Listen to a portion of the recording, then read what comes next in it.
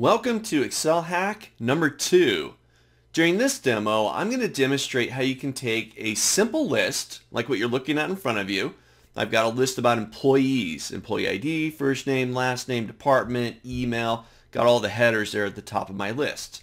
Now you can take a simple list like this and remove any empty rows quickly. Now, I'm sure at some point, or perhaps in the future, you're going to experience or have experienced going through and deleting rows manually. Well, I want to show you a really quick, a really efficient way to select all those empty rows and delete them in just a few mouse clicks. Take a look. Your first step is you got to select the list that you want to remove the empty rows from, or empty columns for that matter. So I'm going to go ahead and select my list. And a really quick way to do this, I'm going to press Control Shift on my keyboard and the End key, E-N-D, end. What this will do, Control Shift and End, will jump you all the way down to the last cell within that range of data. So you can see now I've selected from A1, there it is, all the way down to H50. I've got all the way to the end of this data set. Now once that's selected, I now want to identify the empty rows.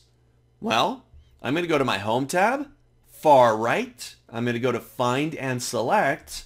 Underneath Find and Select, there's a feature called Go To Special.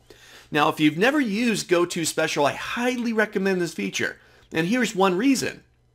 Inside of Go To Special, we're going to find several things that we can essentially find and select within your Excel document. Special items. One of them is blanks. I want to go to and select just the blanks within this range of data.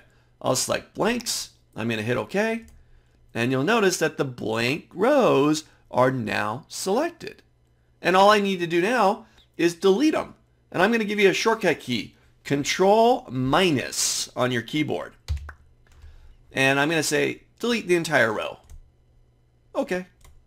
And they're gone. That's simple. Select the range of data that you want to identify the blanks within Go to Home, go to Find and Select, go to Special, find the blanks, and delete them. If you've ever done this manually, much, much more efficient.